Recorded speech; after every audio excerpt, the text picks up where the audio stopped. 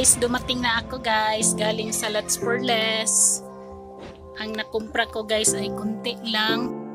Yan lang guys, oh, dalawang boxes, apat na cellophane. Ang nabayaran ko sa grocery guys ay ay 3,498. Ang sigarilyo ay 1,200 kapin. At ang ulam,